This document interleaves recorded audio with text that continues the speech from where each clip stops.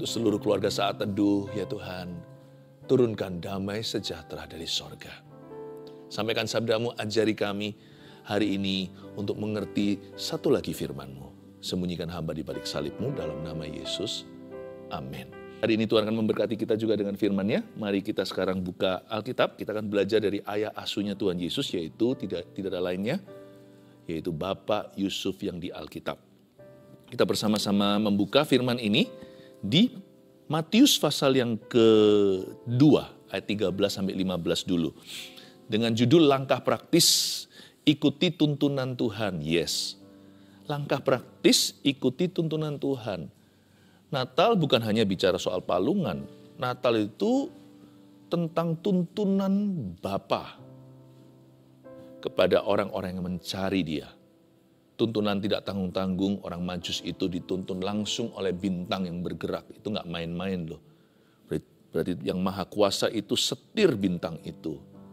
Persis di atas tempat Yesus dibaringkan. Dan satu orang lagi yang paling saya kagumi, yaitu Yusuf, suami Maria. Penyingkiran ke Mesir terjadi yaitu Matius pasal yang kedua ayat 13 sampai 15 saya bacakan.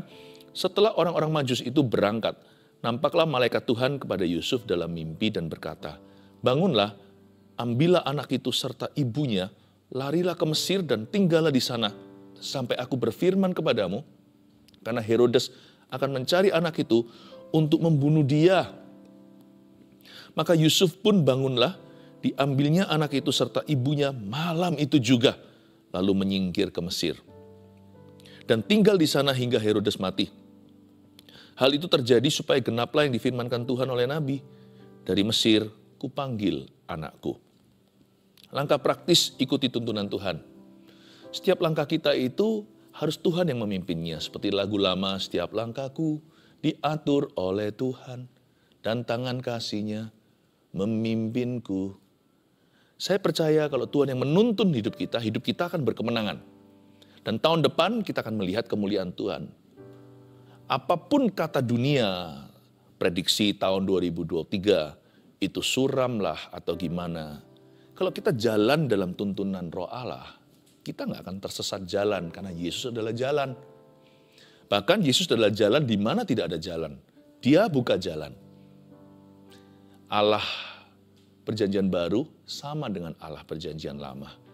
Dialah Allah yang kekal, Alfa dan Omega. Di zaman Musa, bangsa Israel ketika keluar dari tanah perbudakan, Tuhan itu membuka jalan, padahal di depan tidak ada jalan, itu lautan, dia belah laut merah. Sudahlah, jangan takut. Asal kita ikuti tuntunan Tuhan, kita pasti masuk ke rencananya yang ajaib. Termasuk tahun depan, dan mari kita tutup tahun ini dengan iman. Tapi juga ada saran praktis bagaimana mengikuti tapak kaki Tuhan yang tidak kelihatan. Mari kita lihat lagi ayat 13. Setelah orang-orang majus itu berangkat. Ini ceritanya setelah orang majus ketemu Yesus. Nampaklah malaikat Tuhan kepada Yusuf dalam mimpi dan berkata. Jadi Yusuf ini mimpi setelah Maria melahirkan. Tidak lama setelah itu dalam mimpi Bapak berkata, bangun ambil anak itu serta ibunya, yaitu Maria, lari ke Mesir, tinggal di sana sampai aku berfirman. Kenapa ya kok Yusuf menerimanya dalam bentuk mimpi? Ini hanya sekedar konklusi saya secara pribadi sih. Tuhan tuh bisa bicara melalui berbagai macam cara. Tetapi selalu suara Tuhan tidak akan pernah melanggar firman. Kalau kita mau menguji apakah itu suara kita atau suara Tuhan atau suara setan gampang apa kata firman? Ada berbagai macam cara kita mendengar suara Allah, tapi yang pasti semua akan Alkitabiah. Tapi Yusuf ini kan mendapatkan pesan secara spesifik. Bahkan tidak tertulis dalam kitab-kitab perjanjian lama yang dia ketahui. Dan kitab perjanjian baru belum jadi, kan masih dalam pembuatan. Masih dalam cerita Tuhan Yesus. Pada waktu itu Yusuf mendapatkan sebuah pewahyuan untuk segera hengkang dari kota itu, bahkan ke luar negeri. Nampak malaikat Tuhan kepada Yusuf dalam mimpi. Kenapa mimpi ya? Mungkin enggak ya? Tuhan kalau bicara itu kan selalu efektif. Kalau kita menerima sesuatu dari Tuhan waktu kita tidur, kan manusia tidak bisa membantah. Kita nggak bisa melawannya. Orang mimpi itu kan setengahnya tidak berdaya. Ini bukan mimpi pertama. Sebelum itu Yusuf dapat mimpi juga waktu dia mau diam-diam menceraikan Maria. Yusuf itu baik, dia nggak jahat. Karena zaman itu ada hukum, kalau sampai wanita itu berzina sebelum menikah, dia harus dirajam dengan batu. Karena itu Yusuf tidak mau menjadi penuntut. Karena dialah tunangan Maria yang sah. Jadi dia mundur berarti dia cabut tuntutannya. Dia cabut dakwaan. Yusuf waktu itu melakukan apa yang menurut nuraninya betul. Karena memang dia mengasihi Maria. Tapi Tuhan intervensi. Dalam mimpi beritahu, kamu harus nikahi gadis ini. Karena kandungan dia itu, ada orok atau bayi, itu dari roh kudus. Maria itu kudus. Ah, Yusuf terima begitu waktu dia mimpi kan dia nggak bisa bantah, nggak bisa berkata but, but, tapi, tapi Tuhan, tapi, tapi, nggak bisa tapi, tapi. Nah ini mimpi berikutnya. Mimpi kali ini sebuah instruksi. Kamu segera bawa anak dan mamanya itu ke luar negeri. Tepatnya ke Mesir. Mungkin enggak ya Tuhan itu bicara lewat mimpi dengan alasan begitu. Sangat mungkin. Pokoknya begini. When God speaks to you, He will speak to you effectively. Kalau Tuhan bicara kepada kita, dia akan bicara kepada kita sesuai personality kepribadian kita, sesuai kebutuhan, sesuai sikon atau situasi kondisi kita. Tapi yang pasti Tuhan kalau bicara itu selalu efektif. Kita nggak mungkin kelewatan. Tugas kita hanyalah buka hati. Bukan bukan yang yang utama itu bukan ah kita itu itu suara Tuhan atau bukan. Yang yang terutama itu hatimu siap untuk taat. Kalau waktu Tuhan berbicara kepada kita itu siapkah kita meresponinya dengan benar? Dan Yusuf meresponi. Dia bukan meresponinya biasa-biasa, tapi dia langsung mengambil langkah iman. Kalau Anda baca, setelah instruksi diberi ayat 14, maka Yusuf pun bangunlah, diambilnya anak itu serta ibunya, coba garis bawahi, malam itu juga. Mimpi itu pagi atau malam hari. Saya rasa Yusuf ini bukan pemalas. Yusuf tukang kayu yang sangat rajin. Yusuf ini mimpinya pasti malam hari, ini bukan tidur siang, ini tidur malam. Waktu dia bangun, dia langsung hengkang. Dia langsung bawa, langsung dia bawa Maria beserta dengan anaknya itu. Detik itu juga malam itu. Menurut Anda, nyaman gak ya? Kenapa Yusuf gak berkata, ah, ngantuk aku, besok pagi aja, apa bedanya sih? Lima jam lagi, apa bedanya sih? Empat jam lagi. Gak suka tunda-tunda. There is no point in delaying. Tidak ada tujuannya untuk kita itu, tidak ada bagusnya untuk kita itu menunda-nunda. Ada perintah Tuhan atau instruksinya yang harus ditaati bukan pelan-pelan tapi segera. Dalam hal ini, Yusuf tidak diberitahukan oleh roh kudus, kamu harus hengkangnya jam berapa. Tapi dia bisa merasakan darurat pada suara Allah. Dia bisa merasakan urgency atau emergency. Dia bisa merasakan ada suatu sesuatu yang mendesak pada perintah Tuhan. Maka Yusuf pun tidak ambil resiko. Bagi dia, timing is everything. Waktu itu segala sesuatu. Langsung dia hengkang malam itu. Inilah cerita Yusuf bangun tidur. Di tengah-tengah mimpinya dibangunkan. Dia langsung ringkas-ringkas barang. Mungkin nggak semua barang, sebagian besar ditinggalkan. Pokoknya Maria diambil satu tangan, bayi juga digendongnya, langsung dia pergi. Malam itu juga pergi malam hari. Lalu ayat 15, setelah dia sampai di Mesir ya dan tinggal di sana hingga Herodes mati itu perintah Tuhan. Hal itu terjadi supaya genaplah yang difirmankan Tuhan oleh Nabi dari Mesir kupanggil anakku. Yusuf itu taat. Taat itu bukan saja melangkah, taat itu juga berdiam diri. Kebanyakan kita sukanya aktif. Tapi nanti kalau Tuhan tidak berbicara sesuatu yang baru, maka kita nggak betah di situ. Ada orang tertentu itu yang nggak bisa nggak bisa tenang gitu, nggak bisa berserah penuh. Saya rasa iman itu juga berarti belajar diam dan setia di mana Tuhan tempatkan. Kalau Tuhan tidak memberitahukan langkah berikutnya, kenapa nggak kerasan tinggal di langkah sebelumnya? Tidak selalu kita harus cari pewahyuan baru. Kita juga harus belajar berbuah di pewahyuan lama. What's next? What's next Tuhan? Apalagi Tuhan, apalagi Tuhan. Kalau tidak, Tuhan tidak memberimu sesuatu lagi. Kenapa tidak hargai yang Tuhan berikan sebelumnya? Belajarlah diam, belajar juga untuk setia. Di sini Yusuf disuruh tunggu. Wait for me, kata Tuhan kepadanya dalam mimpi. Tunggu sampai Herodes mati. Sampai aku berfirman lagi. Tunggu di sana sebelum ada tuntunan yang baru. Ini suatu suatu langkah praktis juga untuk mengikuti jalan Tuhan. Kadang-kadang mengikuti tuntunan itu kita bisa mendahului Kristus. Sangat sering loh kita lihat dalam hidup ini orang-orang yang mendahului Tuhan. Tuhan belum ngomong dia sudah berjalan Tuhan tuh nggak suka korban, Tuhan lebih suka ketaatan. Mendengarkan itu lebih baik daripada korban bakaran. Jangan mendahului Tuhan juga. Kalau Tuhan tidak memberikan tuntunan, jangan kita itu nekat. Belajar dengar-dengaran dengan roh kudus. Karena banyak orang itu tersesat jalan. Karena dia ambil konklusi sendiri seperti Raja Saul ya kan. Raja Saul kan nunggu tuh Samuelnya memang terlambat berapa hari saya rasa ada kesengajaan di dalamnya. Tuhan memang tuntun Samuel untuk terlambat datang untuk menguji Saul. Dan Saul itu memang tergesa-gesa. Dasar kedagingan, tidak mau nurut, tidak ada tidak ada yang namanya kekang pada dagingnya. Kalau Tuhan nggak ngomong, ya sudah aku jalan. Jangan salahkan lo ya.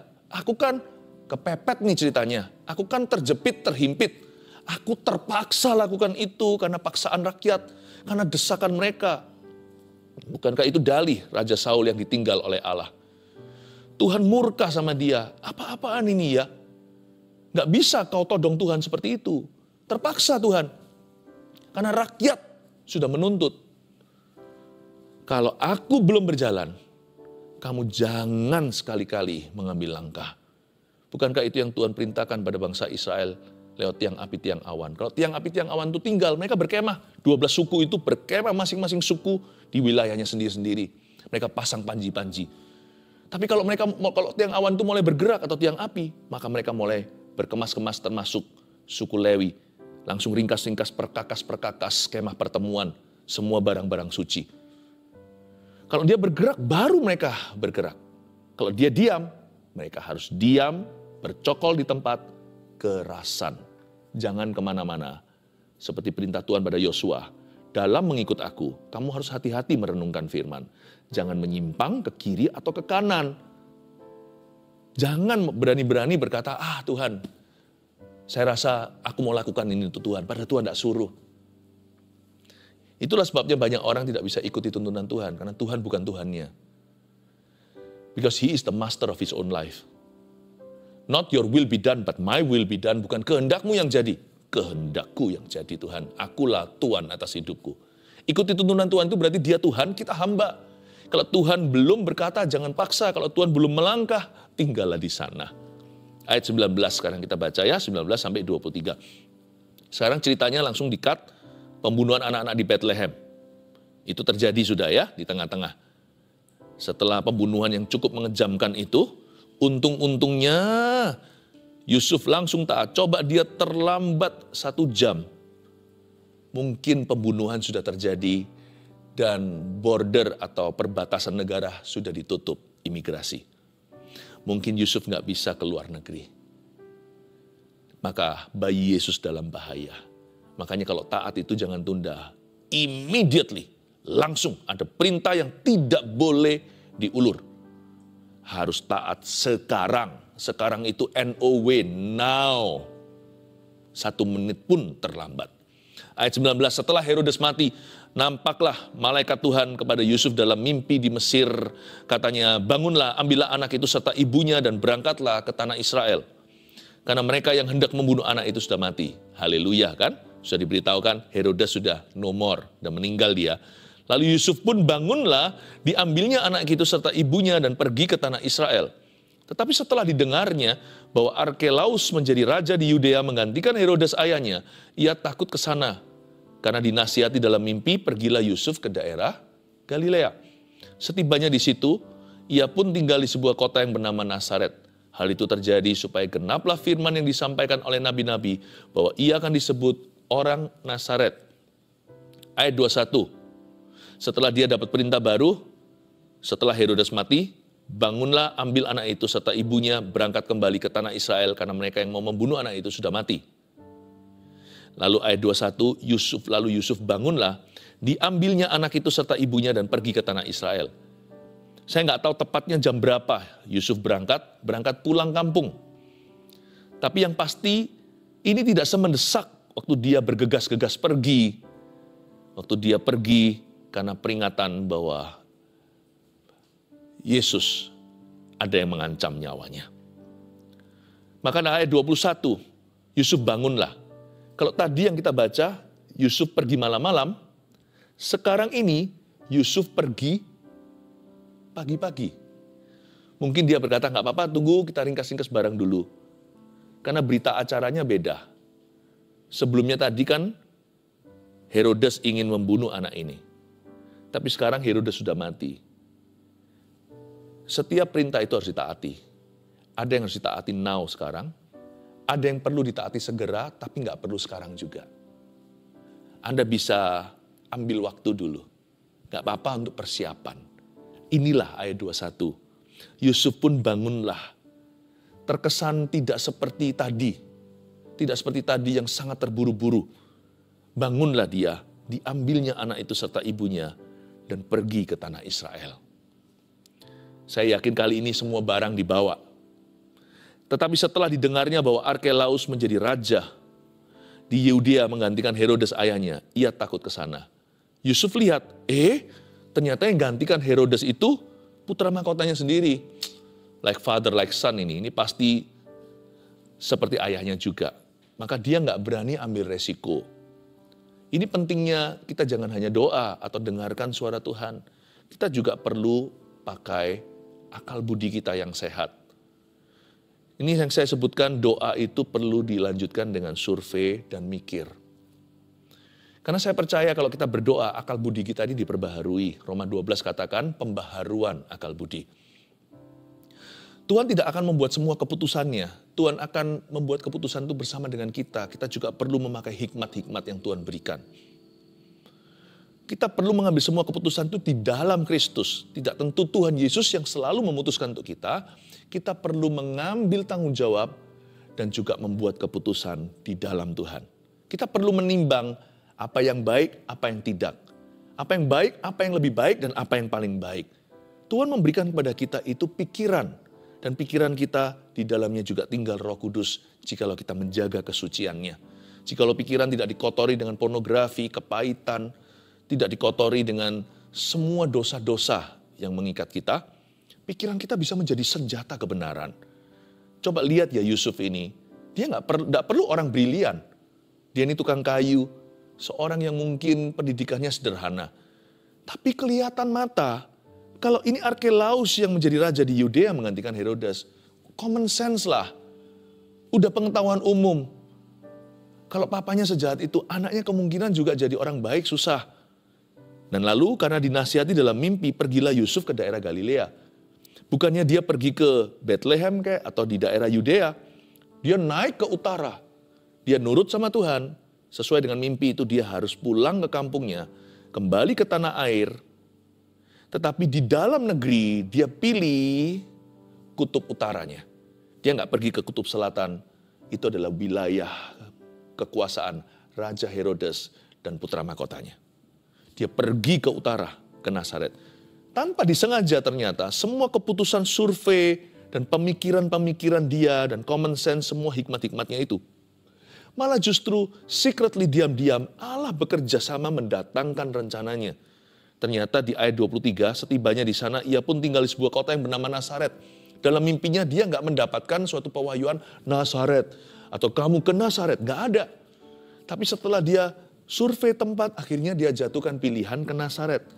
Nasaret itu kampung sederhana, sampai hari ini pun bukanlah wilayah orang kaya.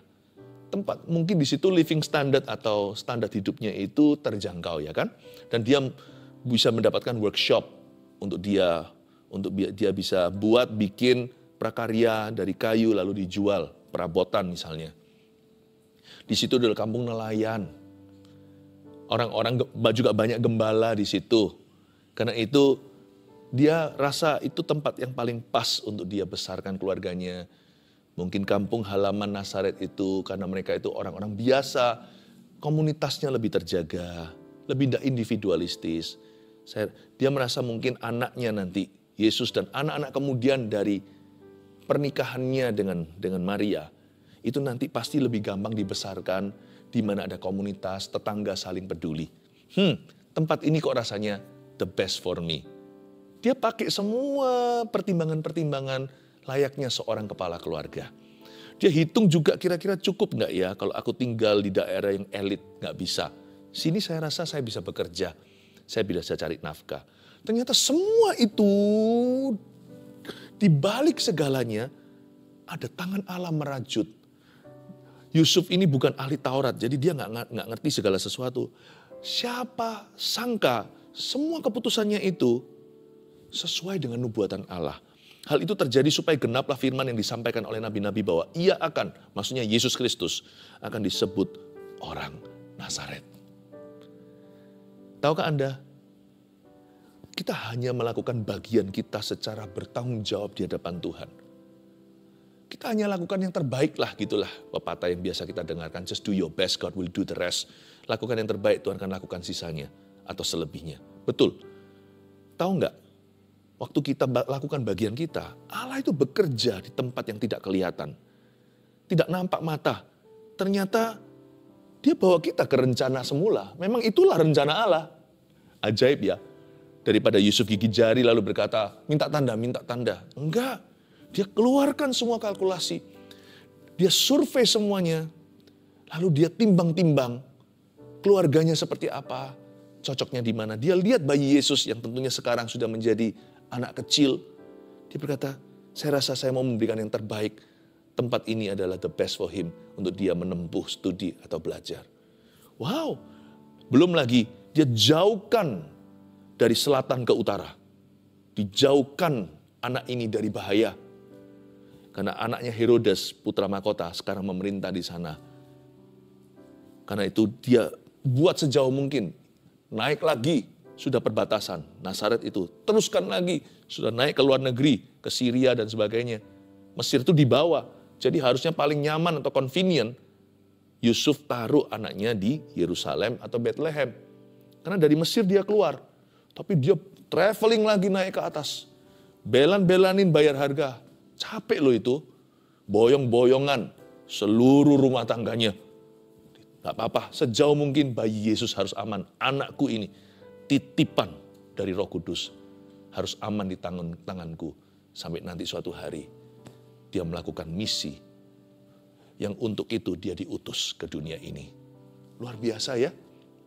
Apa yang kita bisa pelajari langkah praktis ikut tuntunan Tuhan ini?